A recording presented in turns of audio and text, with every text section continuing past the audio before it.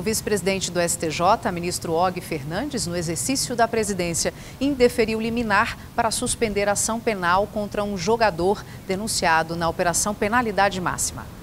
O Ministério Público de Goiás deflagrou a operação para apurar suposto esquema de manipulação de apostas esportivas que envolveria interferências em jogos de futebol profissional. Denunciado pelos crimes de organização criminosa e corrupção ativa e passiva, o atleta interpôs recurso em habeas corpus aqui no STJ, pedindo a anulação da decisão que recebeu a denúncia, pois a Justiça goiana não teria competência para o caso, já que os crimes teriam ocorrido nas cidades de São Paulo, Fortaleza e Cuiabá. Na liminar, ele requereu a suspensão do processo até a decisão final do STJ sobre o recurso.